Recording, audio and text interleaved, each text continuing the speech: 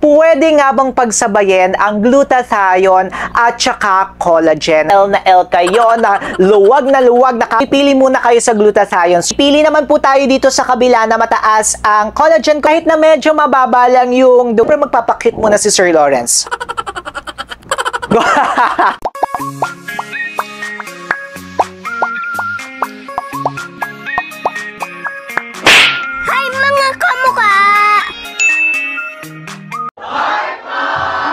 Hi mga kamukha, tayo pinagbabalik. Ako po si Sir Lawrence, ang inyong human guinea pig. Heart, heart! Yung topic po natin for today's video ay matagal na po natin itong pinag-uusapan dito sa ating channel. Ang daming beses ko na nga rin pong gumawa ng mga separate videos about this one, pero ang dami nyo pa rin nagtatanong sa comment section. pero siguro kasi ang dami na nga rin po nating videos at ang dami po nating mga bagong kamukha, kaya ang dami nyo pa rin na mga hindi pa ganoon kaalam. So ano nga ba yung topic natin ngayong araw na ito? Nababasa nyo naman siguro sa ating title. yung topic nga po natin ay pwede nga bang pagsabayin ang glutathione at saka collagen supplement or itong mga dalawang ingredients na ito. Sasagutin ko na agad yung katanungan na yan, no? The answer is yes. Yes na yes naman yan mga kamuka. Pero pag-usapan po siguro muna natin yung overview ng glutathione at ng collagen. Itong dalawang ingredients na ito ay very powerful po. Si glutathione, it's an antioxidant na lumalaban po yan sa mga free radicals, sa mga oxidative stress ng ating katawan. Side effect na lamang na pwede po tayo na mag-glow or pumuti. On the other hand naman po, ang collagen ay maganda sa overall condition ng ating skin. Para sa skin firmness, skin elasticity, maganda rin yung ibang types ng collagen kasi marami pong types ang collagen, no? Yung ibang types ng collagen, maganda siya for our hair, para po sa ating mga joints, sa ating mga bones. And pauulit-ulitin ko ito mga kamukha, never po na magiging side effect ng collagen na pwede tayong pumuti. Glutathione lamang po ang may mga backup studies na pwede tayong pumuti. But if gusto nyo po ng glowing skin and overall condition ng inyong skin, maganda po ang collagen. Now, yung question nyo po at sinagot ko na nga po ito kanina kung pwede nga ba silang pagsabayin. Yes, sabi ko nga po sa inyo, pwede silang pagsabayin as long as wala naman po kayong mga maintenance, wala kayong ibang karamdaman. Kung wala po kayong ibang mga tinitake, kung buntis po kayo, need po muna natin magpa-consult sa ating mga doktor. Pero itong dalawang powerful na ingredients na ito ay just supplement lang naman yan mga kamuka. Ibig sabihin, nagsusupply lamang po yan ng kakulangan natin sa ating mga katawan. Pero best pa rin nga po na magpa-consult sa ating mga doctors. I'm sure yung next question nyo, kung pwede nga po silang dalawa na pagsabayin, paano naman tayo pipili? Ito po mga kamuka, magdedepende nga po ito sa ating NBF, yung ating need, budget, at form. Let's go for siguro po sa ating need. Ibig sabihin po ng need, ano nga ba yung pangangailangan ng ating katawan? At ano nga ba yung kagustuhan nating ma-achieve? Kasi yung iba po sa atin, ang pinaka-focus lamang ay gusto lang talaga nilang pumuti No, kahit wala nang ibang mangyari, gusto lang nila pumuti. If that's the case, kailangan nyo pong mag-focus lamang sa glutathione. So, glutathione supplements lamang po ang inyong itatry or yun po yung inyong mga bibilhin or doon po tayo magfo-focus. May mga ginawa na nga po tayong videos, especially kung gusto nyo pong tumaas yung glutathione storage or yung GSH na tinatawag natin sa ating katawan. Makikita nyo po yan dyan, yung mga 500 milligrams and up na glutathione. Tapos, yung mga best glutathione brands of 2023, 2022, 2021, ilalagay na lamang po natin dyan para hindi na kayo magtitake ng iba pang mga supplements. Pero of course, kapag nag-glutathione tayo and collagen, maganda pa rin na may mga booster po tayo para mas napapabilis yung absorption sa ating katawan. Kung medyo aging naman po tayo at gusto talaga nating mag-focus sa collagen naman, sa skin elasticity natin, ayaw natin na, na dumami pa ang ating mga wrinkles. Of course, sa collagen naman po tayo mag-focus. At may mga videos na nga rin po tayong ginawa dyan, no? Yung uh, collagen para sa mga aging skin, best collagen brands of 2023, 2022, 2021. Ayan, ilalagay na lamang po natin yan dyan mga kamuka. Ginagawa nga po natin yan para mas mapadali po ang inyong pagpili. Pero kung gusto nyo naman po talaga silang pagsabayin, eto na siya mga kamuka. Sabi ko nga po sa inyo, magdedepende nga po yan sa inyong pangangailangan or mas gusto nyo pong i-focus. So hahatiin na nga rin po natin ito sa apat. Simulan na nga po natin. Kunyari gusto nyo po talaga na magpaputi, yan po ang goal nyo, ang need nyo. Tapos gusto nyo rin na para sa inyong skin condition, skin elasticity, talagang kung the highest level, aging na rin yung skin nyo, skin talaga.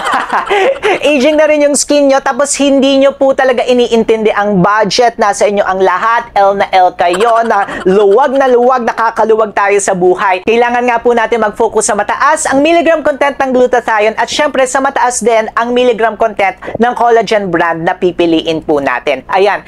Sana all, no? Ang daming budget.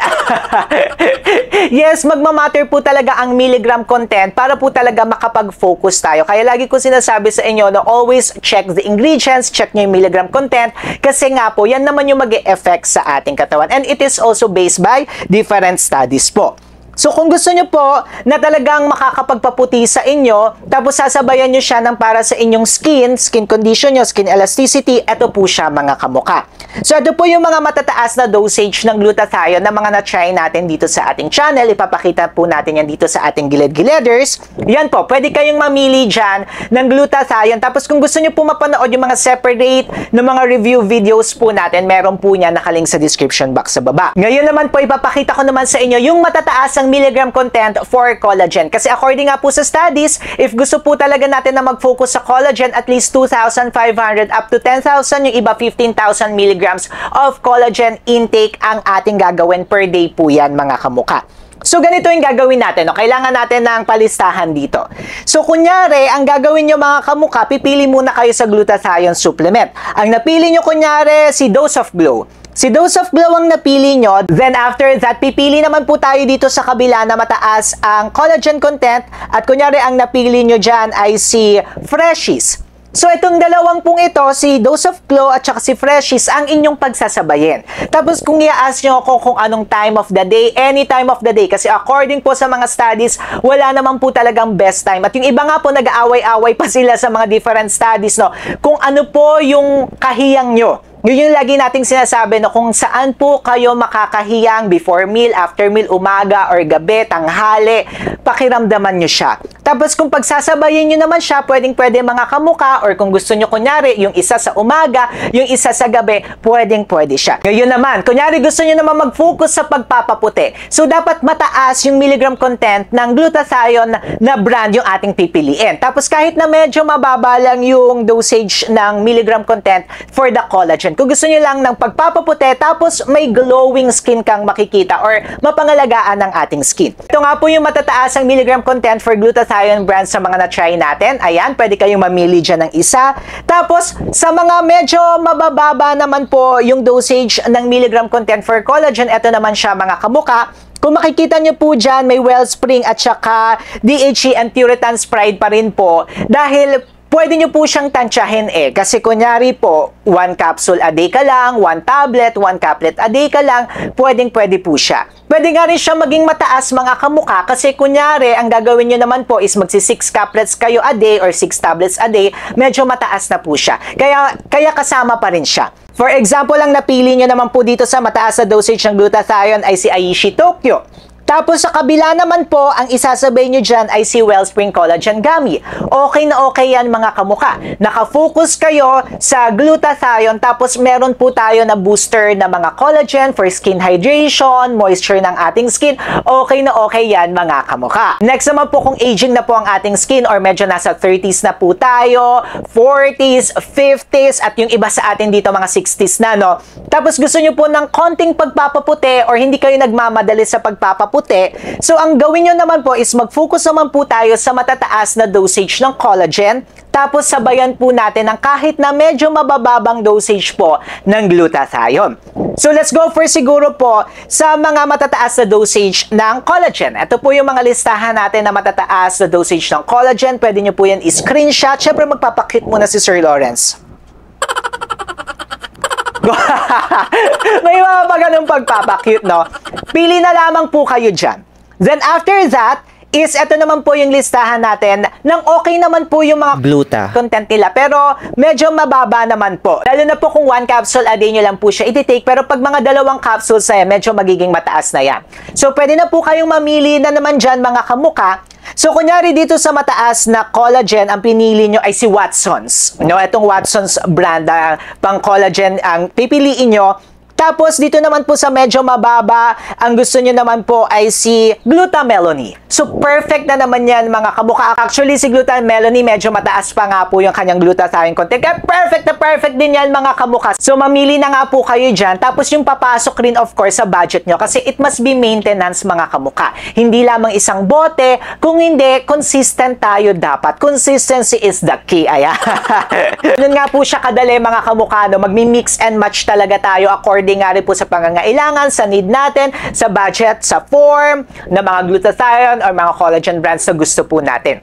Then, kung gusto po natin na sa isang supplement lamang po, ay balance na siya, may collagen na siya, tapos may glutathione, tapos okay din po yung mga milligram content. Aba! May separate video na tayo dyan, mga kamukha. Pumunta pa ako ng Baguio para gawin lang yan, ha?